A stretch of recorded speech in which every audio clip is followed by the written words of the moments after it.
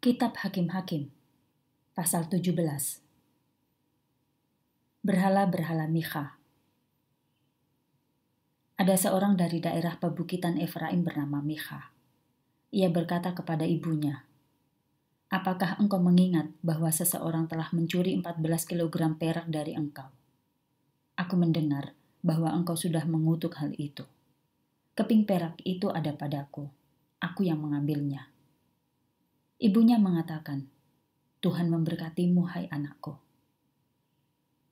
Mika mengembalikan ke-14 kg perak itu kepada ibunya. Ibunya mengatakan, Aku akan mengabdikan perak itu seluruhnya kepada Tuhan. Aku memberikannya kepada anakku, supaya ia dapat membuat sebuah patung dan melapisinya dengan perak. Jadi sekarang, hai anak, aku mengembalikan perak itu kepadamu tetapi ia mengembalikan perak itu kepada ibunya, dan ibunya mengambil 2,5 kg perak dan memberikannya kepada seorang tukang perak.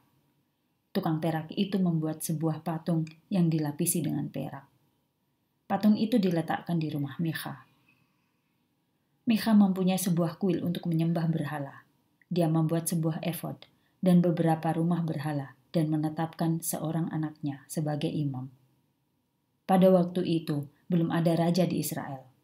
Jadi setiap orang berbuat yang benar menurut pendapatnya. Ada seorang pemuda dari kota Bethlehem di Yehuda, dari suku Lewi. Ia tinggal di tengah-tengah suku Yehuda. Orang muda itu meninggalkan Bethlehem di Yehuda. Dia mencari tempat yang lain untuk tempat tinggalnya. Ketika dia pergi, dia sampai ke rumah Micha yang terletak di daerah pebukitan Efraim. Micha berkata kepadanya, dari mana engkau? Jawabnya, Aku seorang Lewi dari kota Bethlehem di Yehuda, dan aku mencari tempat tinggal. Micha berkata kepadanya, Tinggallah bersama aku, engkaulah bapa dan imam bagiku. Aku memberikan sepuluh shikal kepadamu setiap tahun. Aku juga memberikan pakaian dan makanan kepadamu. Orang Lewi itu melakukan yang diminta oleh Micha.